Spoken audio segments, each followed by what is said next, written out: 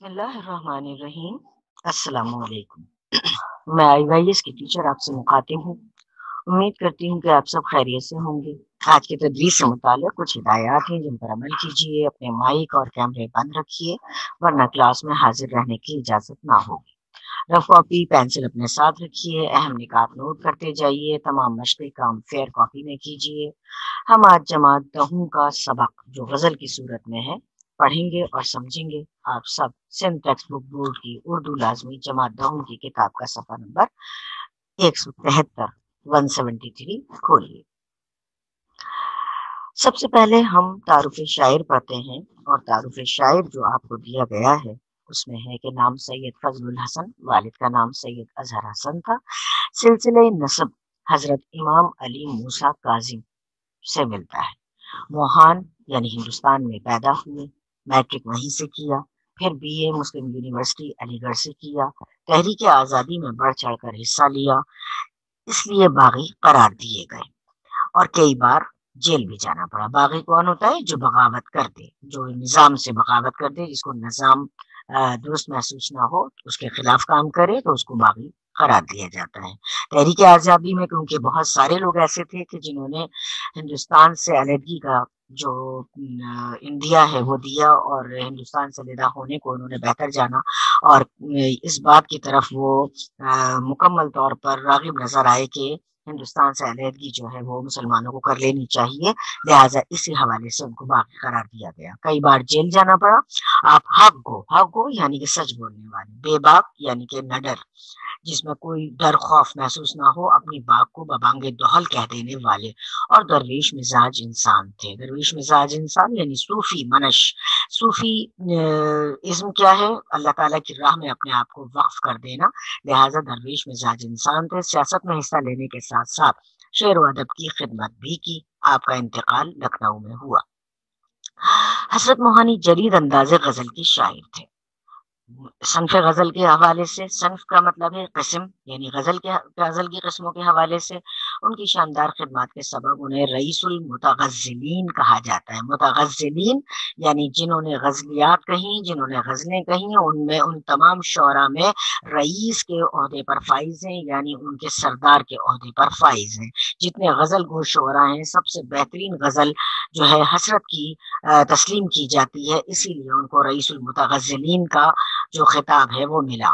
آپ نے ایک رسالہ اردو معلّہ جاری کیا۔ معلّہ کا مطلب بلندی پر ہے۔ ہے اردو معلّہ یعنی بلند ترین مقام پر فائز جو زبان ہے اردو، اس کے بارے میں یہ رسالہ جو ہے وہ نظر آتا ہے۔ آپ کا کلام کلیات حسرت، کلیات وہ مجموعے کو کہتے ہیں کہ جس میں شاعر کا تمام کلام ایک ہی کتاب میں شائع کروا دیا جاتا ہے، اس کو کلیات کہا جاتا ہے۔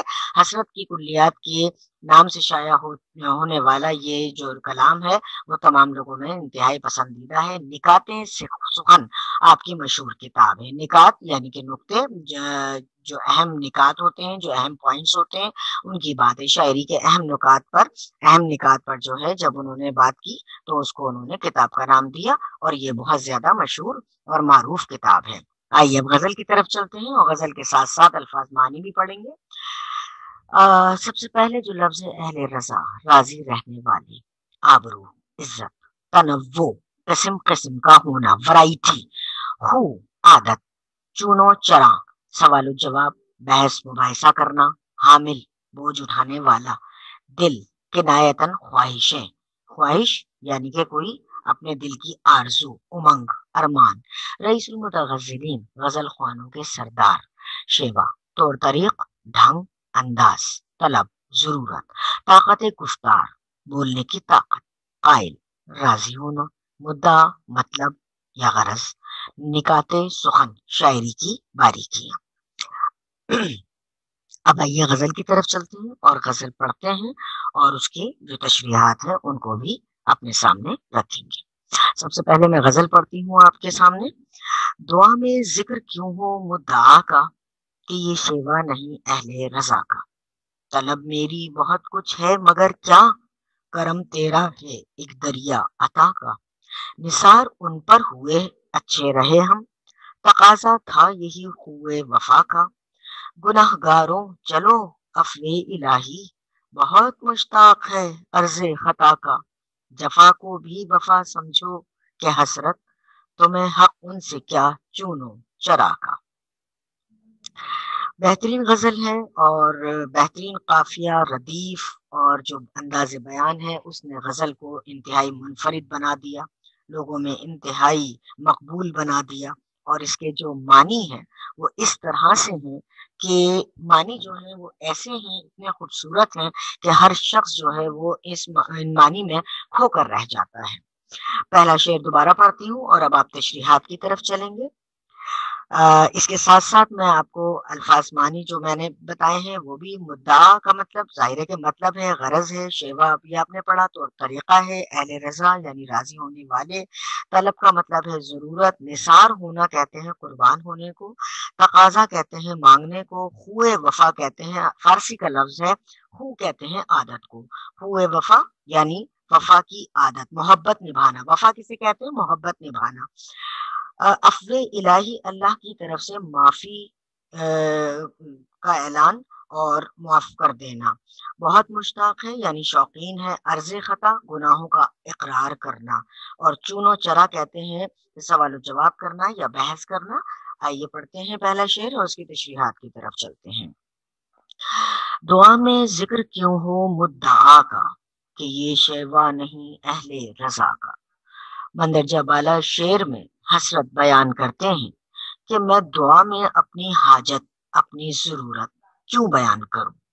میں کیوں اپنی ضرورت اپنے رب کے حضور پیش کروں؟ کیونکہ میرا ایمان تو یہ ہے کہ میری ہر ضرورت، ہر حاجت سے میرا رب پہلے ہی واقف ہے۔ اللہ تو میری جو شہرت ہے، اس سے زیادہ قریب ہے۔ وہ تمام معاملات، تمام حالات جانتا ہے۔ وہ جانتا ہے کہ میرے دل کی ضرورت کیا ہے۔ میں کن چیزوں کی طلب رکھتا ہوں؟ لہٰذا مجھے کہنے کی ضرورت ہی نہیں۔ میرا رب تو پہلے ہی واقف ہے، پہلے ہی جانتا ہے۔ وہ مجھ سے، میری ضروریات اور خواہشات سے انجان نہیں ہے۔ اس کی صفت ہے کہ وہ جانتا ہے، وہ علیم ہے، وہ خبیر ہے۔ علیم علم رکھنے والا، جاننے والا، خبیر، خبر کر رکھنے والا، اس کے بارے میں آگاہ ہو جانے والا۔ تو اللہ تعالیٰ تو علیم و خبیر ہے، اس کی صفت ہی جاننا ہے۔ وہ ہر شے اور ہر چیز جو مجھے نہیں ملی، تو اس میں بھی میرے رب کی کوئی نہ کوئی مصلحت شامل ہے۔ مجھے اس کی رضا میں راضی رہنا ہے۔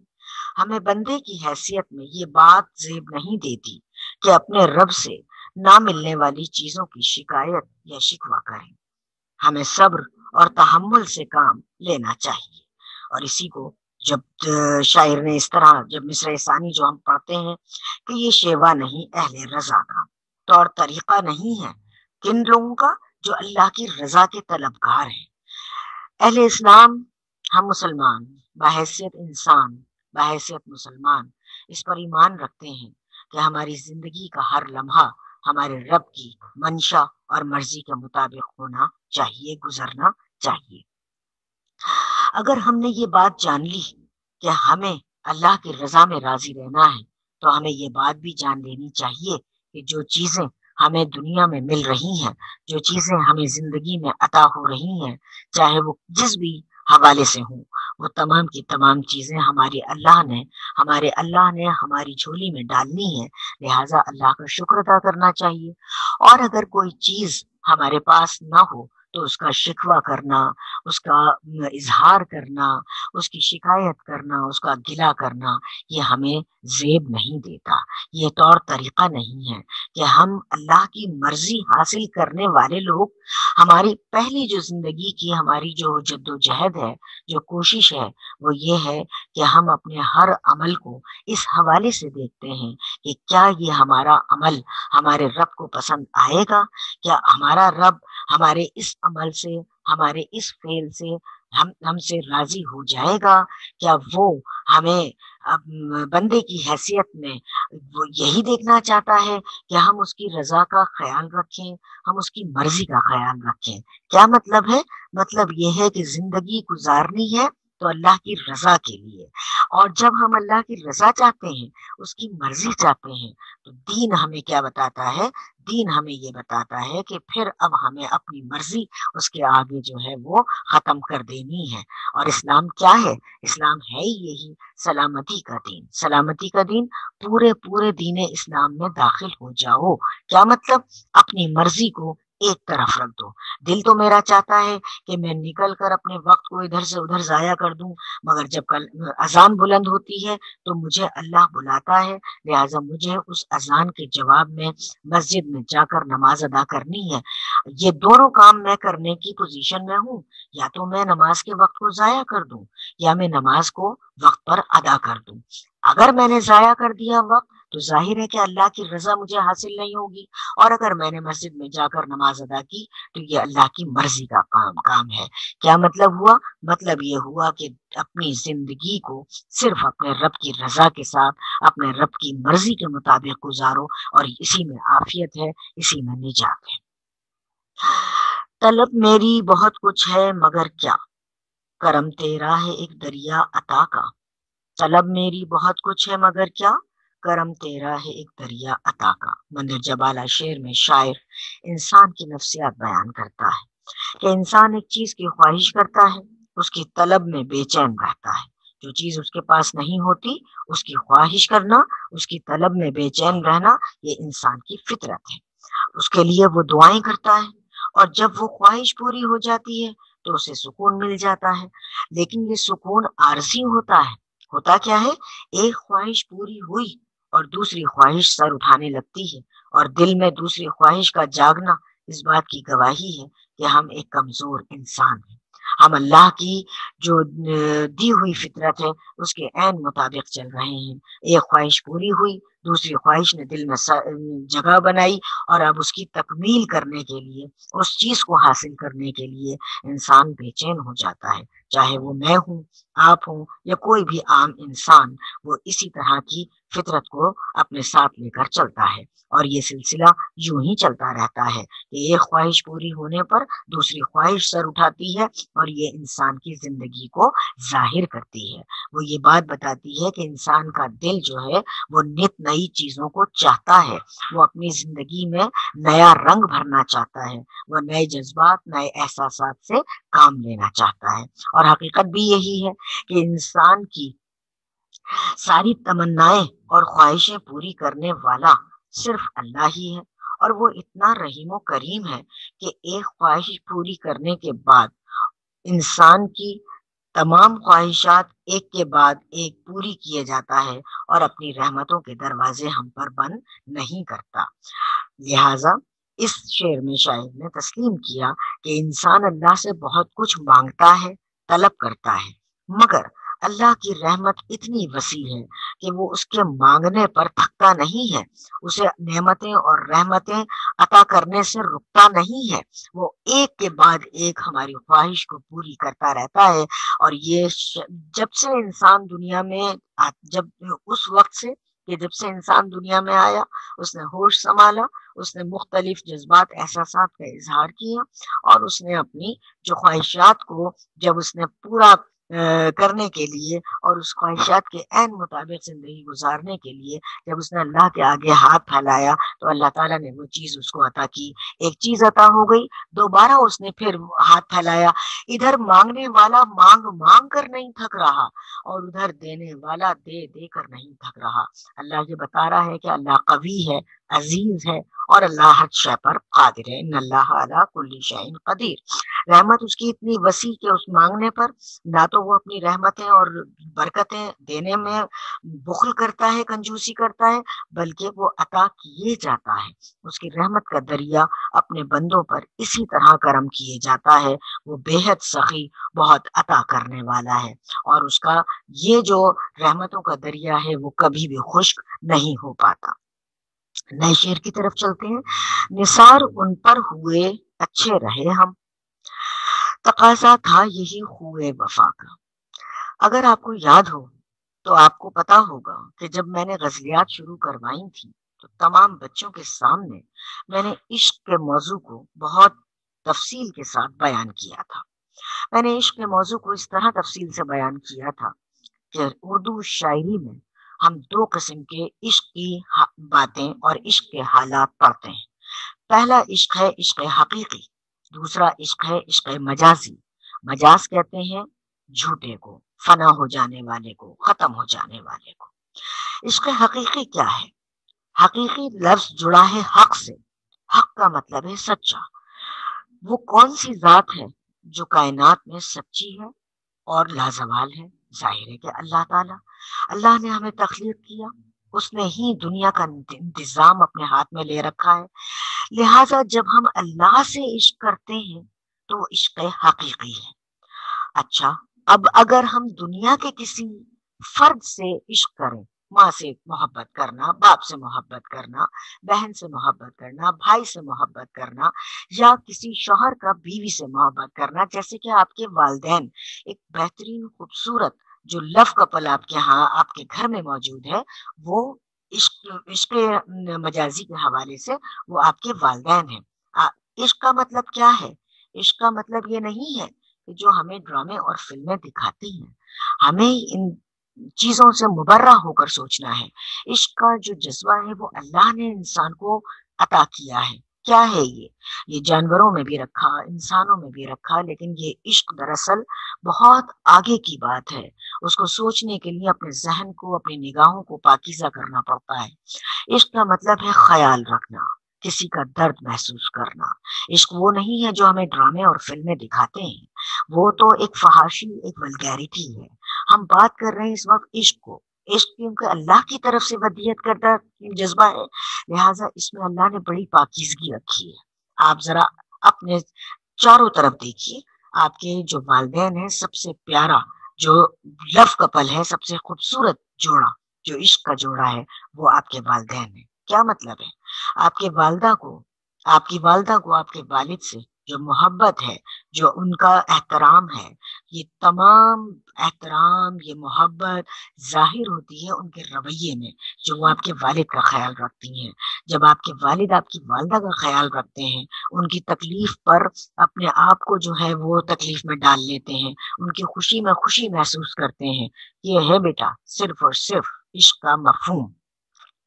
لیکن جب ہم کسی دنیاوی فرد سے عشق کرتے ہیں، وہ عشق مجازی ہے۔ مجاز کا مطلب ہے جھوٹ، مجاز کا مطلب ہے ختم ہو جانے والا۔ عشق حقیقی کیا ہے؟ عشق حقیقی کبھی نہ مرنے والا۔ آج مجھے اپنے رب سے محبت ہے، کل بھی رہے گی، مرتے دم تک رہے گی۔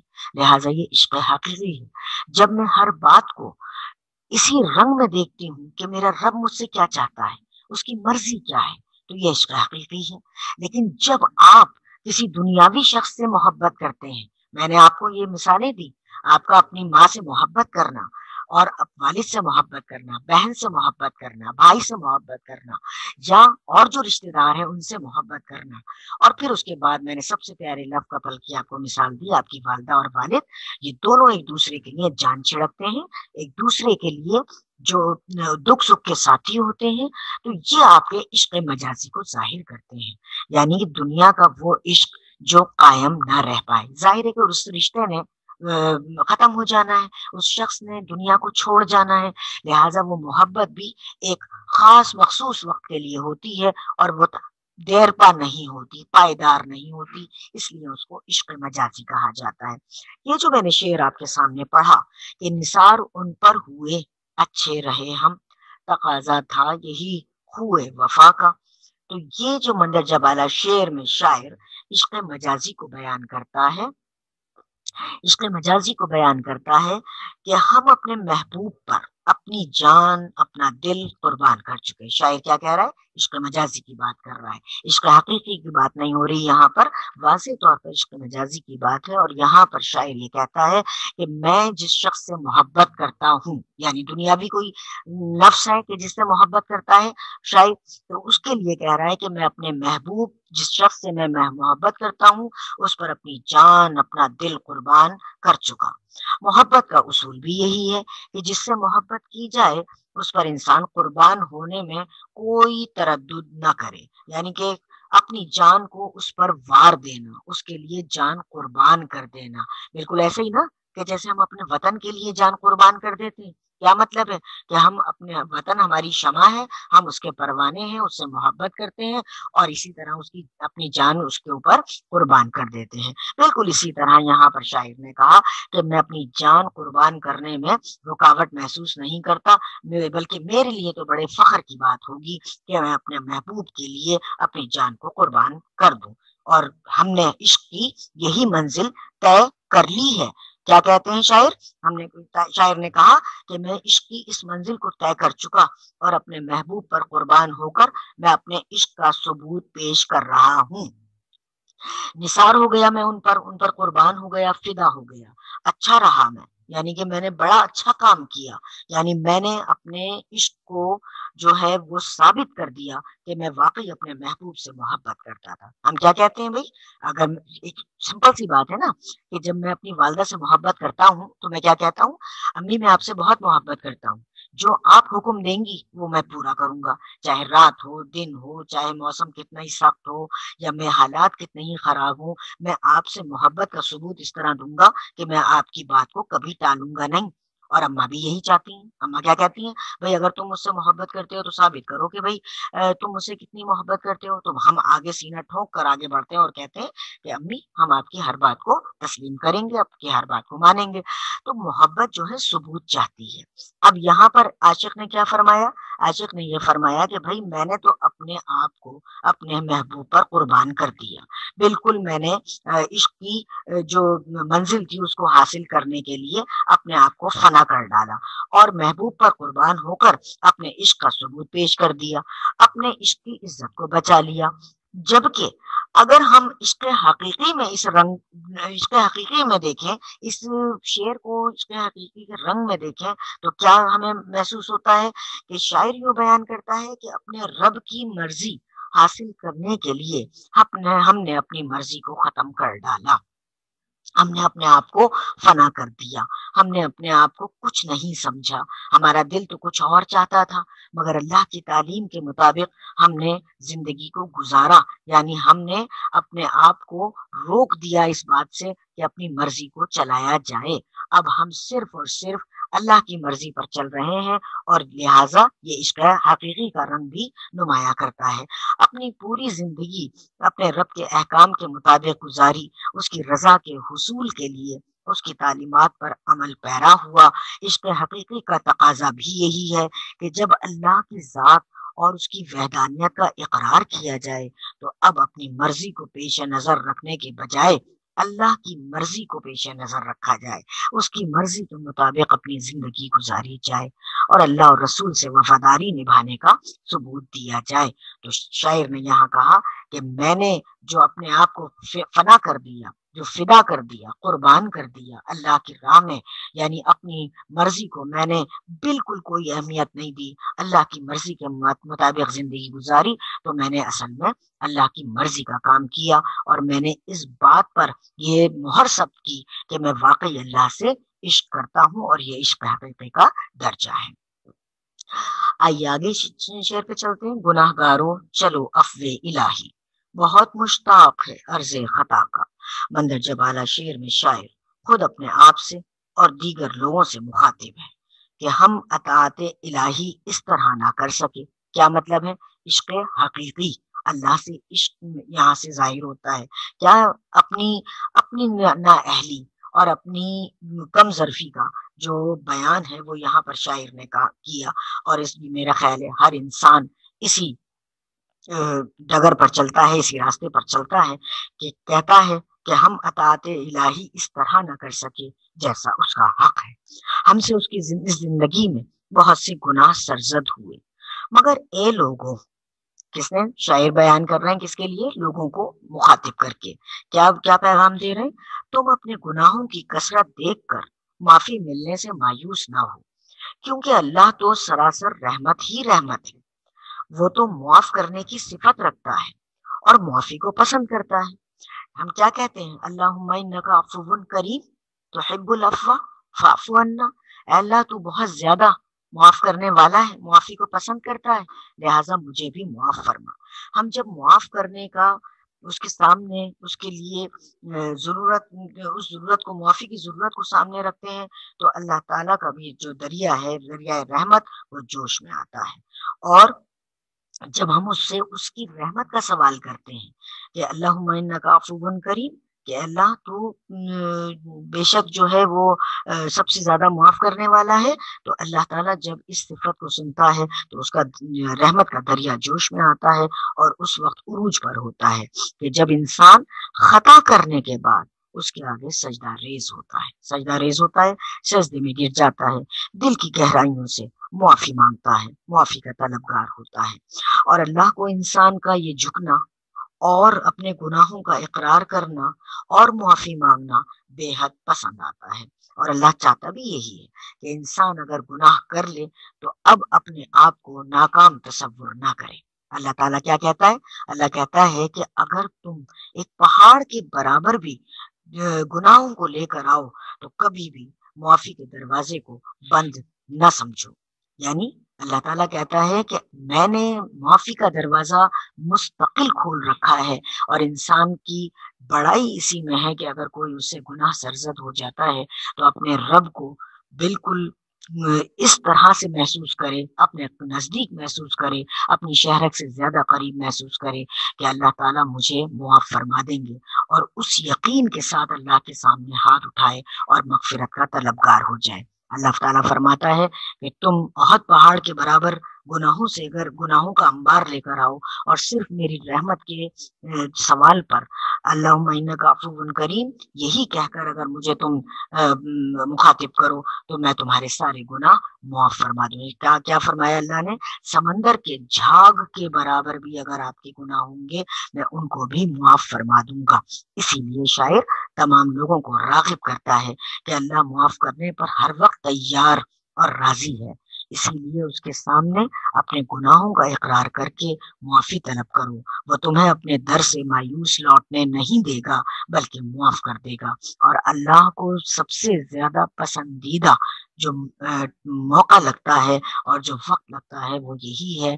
کہ انسان جب کوئی گناہ، کوئی غلطی کر کے اللہ کے آگے جھکتا ہے اور اللہ سے صرف استغفر اللہ کہتا ہے تو یہ تمام جو معمولات ہیں اور معاملات ہیں، وہ اللہ تعالیٰ اتنے اس کو پسند آتے ہیں کہ وہ اپنی رحمت کے بلبوتے پر اس شخص کے بڑے سے بڑے گناہ کو معاف کر دیتا ہے۔ آئیے اگلے شعر کی طرف چلتے ہیں۔ جفا کو بھی وفا سمجھو کہ حسرت، تو میں حق ان سے کیا چونو چرا کا۔ مندر جبالا شعر میں شاعر، عشق مجازی کا رنگ نمایاں کرتے ہوئے کہتا ہے کہ اگر محبوب محبت کا جواب محبت سے نہ دے۔ اب یہاں پر عشق مجازی ہے۔ جفا کو بھی جفا کسے کہتے ہیں؟ جفا کہتے ہیں سخت رویہ اختیار کرنا، محبت کا جواب نفرت سے دینا۔ جفا کو بھی وفا سمجھو کہ حسرت، تو میں حق ان سے کیا چونو چرا کا۔ عشق مجازی کا رنگ نمایاں کرتے ہوئے حسرت نے یہاں بیان کیا کہ اگر محبوب محبت کا جواب محبت سے نہ دے اور ہم سے نفرت کا اظہار کرے اور ہماری طرف متوجہ نہ ہو۔ تو عاشق کو چاہیے کہ محبوب کے اس رویے پر صبر و برداشت کا مظاہرہ کرے۔ صبر کر لے، برداشت کرے، تحمل سے کام لے اور محبوب کے توجہ نہ دینے کا کوئی شکوہ نہ کرے۔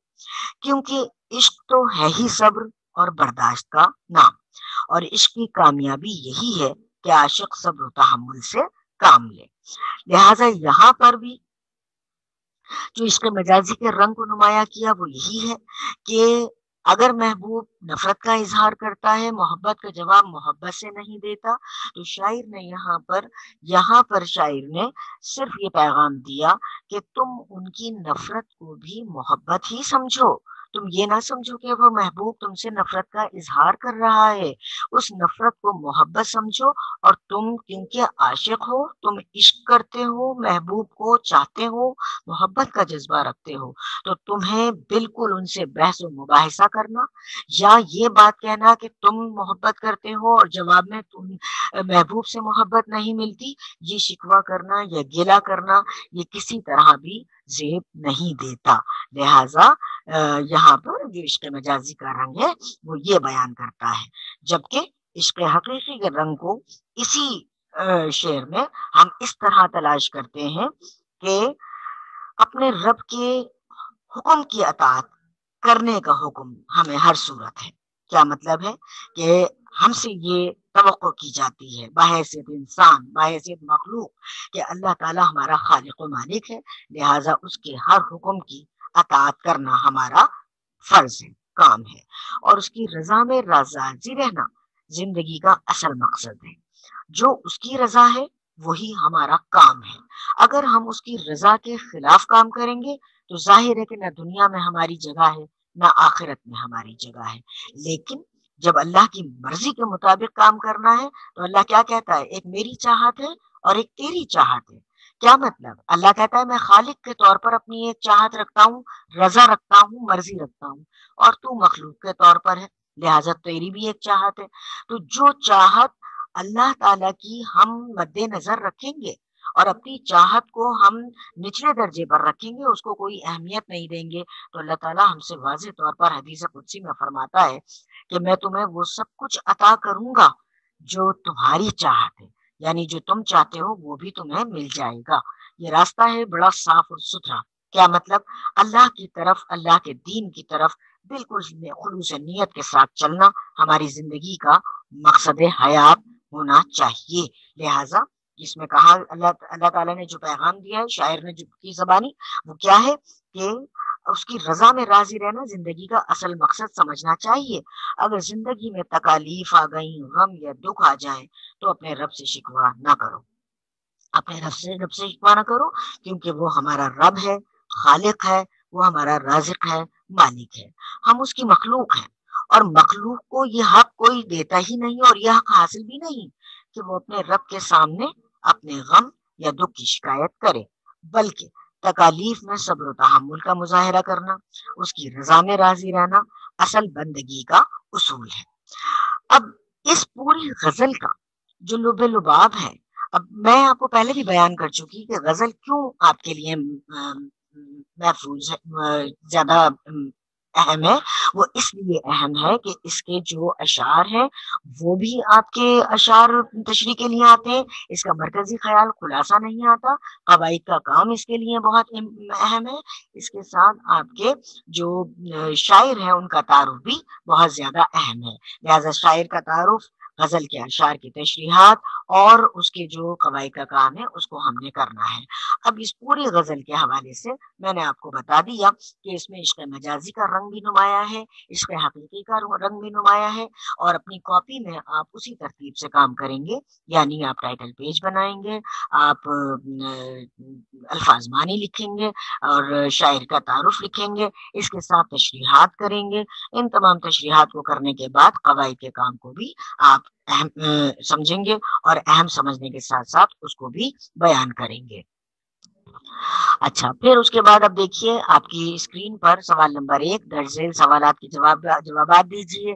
اب یہاں پر اشار کی تشریح کی بات ہے، الف حصے میں، اور یہاں پر اشار بیان کر دیے گئے ہیں۔ دعا میں ذکر کیوں ہو مدعا کا، کہ یہ شیوا نہیں، اہل رضا کا۔ ابھی آپ کے سامنے میں نے تشریح بیان کی، لہٰذا اس تشریح سے آپ استفادہ حاصل کرتے ہوئے اس کو مکمل کر سکتے ہیں۔ اور دوسرا شعر بھی موجود ہے۔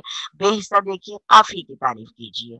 میں پہلے بھی آپ کو بتا چکی قافیہ کیا ہے؟ قافیہ، ہم آواز بعض الفاظ۔ اب یہاں پر اس غزل کے حوالے سے اگر ہم دیکھیں تو دیکھیے گا کہ مدعا، رضا، عطا، وفا، خطا، چونو، چرا، یہ تمام جو ہیں یہ قافیے ہیں۔ ردیف کیا چیز ہوتی ہے؟ ردیف وہ ہے جو قافیے کے بعد دہرائے جانے والے الفاظ ہوتے ہیں، جو اشعار میں بار بار دہرائے جاتے ہیں۔ جیسے مثال کے طور پر یہاں کا جو ردیف ہے وہ کا ہے۔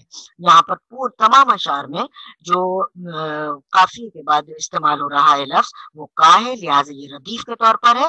اور اس میں اب آپ دیکھ لیجیے حصہ بے میں کافی کی تعریف، میں نے ابھی آپ کے سامنے تعریف بھی بیان کی اور اس کی مثال بھی دی۔ تو اسی طرح سے ان یہ جو دو اشعار آپ کو دیے گئے ہیں، ان دونوں اشعار میں آپ قوافی کو تلاش کر لیجیے اور اس کے مطابق آپ ان کافیوں کے حوالے سے یہاں پر جواب بھی دیجیے جیم کا حصہ میں نے ابھی آپ کو بتایا اس غزل کی ردیف لکھیے ردیف کا مطلب میں پھر دوبارہ آپ کو بتا دوں کہ قافیہ یعنی ہم آواز الفاظ کے بعد ایک جیسے الفاظ جو ہر شعر میں دہرائے جاتے ہیں، ان کو ردیف کہا جاتا ہے۔ اس غزل کی ردیف جو ہے وہ کا ہے۔ لہٰذا اس غزل کی ردیف کا کو لکھیے گا۔ دال حصہ دیکھیے۔ درج ذیل الفاظ و مرکبات کے معنی لکھیے۔ مرکبات میں آپ کو پہلے بھی بتا چکی، پہلے والے لیکچر میں بھی دے چکی۔ آج میں اس کو ریپیٹ بھی کر رہی ہوں۔ لہٰذا مرکب کیا کسے کہتے ہیں؟ مرکب کہتے ہیں دو الفاظ کو ملانا، جس کو آپ انگریزی میں کہتے ہیں، جیسے آپ کیمسٹری لیب میں جاتے ہیں، مکسچر کہتے ہیں نا آپ کمبائن کرنے کو کہتے ہیں۔ خوے وفا۔ اب یہاں پر پہلا لفظ ہے خو خو فارسی میں کہتے ہیں عادت کو۔ وفا، محبت نبھانا یعنی محبت نبھانے کی عادت۔ اب خو ایک الگ لفظ تھا، وفا ایک الگ الگ لفظ تھا۔ ان دونوں کو ہم نے یکجا کر دیا، ہم نے ان کو ملا دیا۔ لہٰذا یہ مرکب بن گیا۔ اس کا مطلب ہو گیا کہ محبت نبھانے کی عادت۔ جفا، نفرت یعنی برا سلوک افو الہی الہی ظاہر آپ جانتے ہیں اللہ کے لیے استعمال ہوتا ہے اف کہتے ہیں معافی کو یعنی اللہ تعالیٰ کی طرف سے معافی کا اعلان۔ چون چونو چرا؟ بحث کرنا، مباحثہ کرنا، سوال و جواب کرنا، تقاضا یعنی طلب کرنا۔ اب ان مرکبات کے معنی جو ہیں وہ آپ کو لکھنے آسان ہو جائیں گے۔ اب کثیر الانتخابی جوابات کے سوالات دیکھیے۔ درج سے جوابات میں سے درست جواب پر درست کا نشان لگائیے اس غزل کے شاعر کا نام کیا ہے؟ حسرت ہے، تفضل حسن حسن ہے، چراغ الحسن ہے یا سید فضل الحسن ہے۔ جو درست جواب ہے اس کو آپ لکھیے۔ غزل میں قافیہ ہمیشہ آتا ہے، ردیف کے بعد، ردیف سے پہلے، آخری شعر میں مقتے میں۔ میں نے ابھی آپ کو ردیف اور غزل کی جو تعریفیں بیان کی ہیں، اس کے ساتھ ساتھ آپ نے ان کو بیان کرنا ہے۔ مطلع کہتے ہیں غزل کے آخری شعر کو، ہر شعر کو، درمیانی شعر کو پہلی شعر کو۔ یہ بات آپ یاد رکھیے گا، پہلے بھی بتا چکی، آج پھر بتا رہی ہوں۔ لفظ مطلع نکلا ہے طلوع سے۔ طلوع طلوع ہونا، جب ہم کہتے ہیں سورج طلوع ہو گیا یعنی اس کا آغاز ہو گیا۔ مطلع کا مطلب ہے وہ غزل، وہ نظم کہ جس شعر سے وہ غزل شروع ہو رہی ہے، اس کو مطلع کہتے ہیں۔ اہل رضا اہل رضا، اب یہاں پر اہل رضا کا مطلب آپ کو میں نے بتایا رضا کا مطلب ہوتا ہے راضی ہونا، مرضی ہونا، اور اللہ جن سے راضی ہو گیا، جو اللہ سے راضی ہو گئے رضا کار لوگ جو لوگوں کو راضی کرتے ہیں۔ تیرا کرم عطا ہے، چمن ہے، موسم ہے، دریا ہے، پھول ہے۔ یہ تمام کام کرنے کے بعد اب کالم الف اور کالم بے کے الفاظ کو ملا لیجیے۔ مدعا کا مطلب کیا ہے، طلب کیا ہے، یہ آپ کو الفاظ معنی کے حوالے سے پتا چل جائے گا۔ اب آئیے الفاظ کی جمع۔ بیٹا، یہ یہاں پر آپ نے عربی کے قواعد کے حوالے سے جمع بنانی ہے۔ لفظ ہے خطا۔ کوئی قصور۔ اس کی جو جمع ہے عربی میں وہ خطایا ہے۔ دعا دعا کو عربی میں ادیا کی جمع بناتے ہیں ادیا یعنی بہت ساری دعائیں شیوا طریقہ۔ تو طریقہ شیوا کی جمع شیوا ہی رہتی ہے، یہ کبھی بھی جمع کی صورت میں شیوے یا شیووں یہ نہیں آتا۔ شیوا کی جمع شیوا مشتاق یعنی کہ چاہنے والا۔ مشتاق کی جمع ہے مشتاقان۔ عطا کی جمع ہے، عطایا۔ عطا یعنی کوئی نوازنا یا وہ اس کا اسکرین شاٹ لے لیں تاکہ آپ کو کام کرنے میں آسانی ہو۔ اور اس کی جمع عطایا، عطا کی جمع عطایا، خطا کی جمع خطایا، دعا کی جمع ادیا تو یہ تمام آپ نے، آپ کو کام ہم نے اسکرین پر دے دیا ہے۔ لہٰذا اب اس تمام کام کو مکمل کیجیے گا کاپی میں، تاکہ جب آپ واپس آئیں تو آپ کی کاپی مکمل ہو۔ اور یہ مکمل ہوا آپ کا۔ لہٰذا میری طرف سے خدا حافظ۔ اللہ حافظ۔